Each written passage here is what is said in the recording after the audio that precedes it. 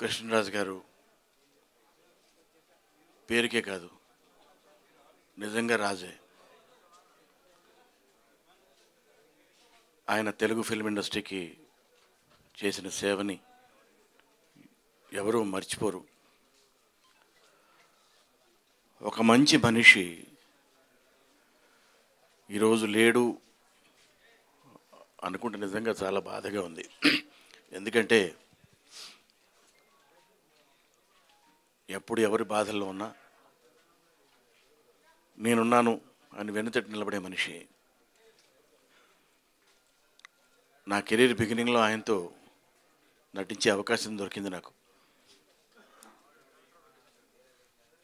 నిజంగా ఒక ఒక రాజు తన రాజ్యాన్ని ఎలా చూసుకుంటాడో ఆ మనిషి తన మిత్రుల్ని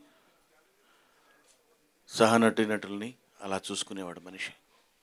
చాలా గొప్ప మనిషి చాలా గొప్ప మనస్సు.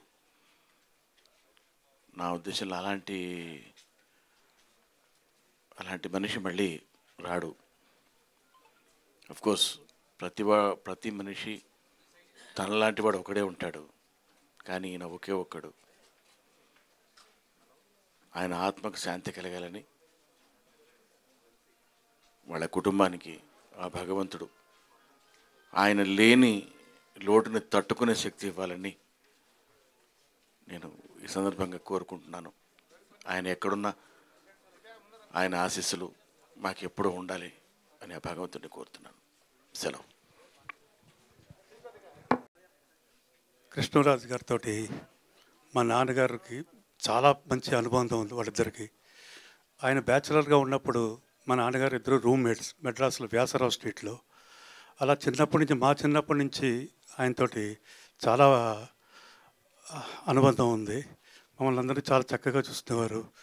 ఆయన ఒక పెద్ద రేంజ్కి వెళ్ళిపోయాక హీరోగా ఒకసారి మమ్మల్ని పిలిచి మీ నాన్నగారు మేము అంతా చాలా కష్టపడి వచ్చాం ఇక్కడికి. ఇప్పుడు ఈ స్థితిలో ఉన్నా ఉంటే మా కష్టమే అది. మీరు దాన్ని కాపాడండి అని ఎన్నో మంచి మంచి అడ్వైస్లు అన్నీ ఇచ్చేవారు. అలాగే నాకు ఒకప్పుడు పచ్చకామలు వచ్చినాయి జాండీస్. చాలా సీరియస్ అయింది అప్పుడు. ఆయన ఇంటికి పిలిపించి ఆ పసరిచ్చి నన్ను బతికించారు ఆయన. అంత గొప్ప వ్యక్తి ఆయన. ఎప్పుడూ ఆప్యాయంగా పలకరిస్తూ ఫోన్లు చేస్తూ మా నాన్నగారి గురించి అడుగుతూ ఉండేవారు ఇంతకుముందు. తర్వాత మా అమ్మగారిని జాగ్రత్తగా చూసుకోండి. నాన్నగారు పోయాక మా అమ్మగారిని చాలా జాగ్రత్తగా చూసుకోమని ఇవన్నీ అస్తమానం అడుగుతూ ఇది ఎంక్వైరీ చేస్తూ ఉండేవారు మా దగ్గర. ఎలా ఉన్నారు అమ్మగారు? ఇలాంటి మా కుటుంబానికి ఒక పెద్ద ఆయన. అటువంటి వ్యక్తి సడన్గా నిన్న కాలం చెందారంటే నమ్మలేకపోతున్నాం. ఆయన ఆత్మకి శాంతి కలగాలని మనస్ఫూర్తిగా కోరుకుంటున్నాను. Thank you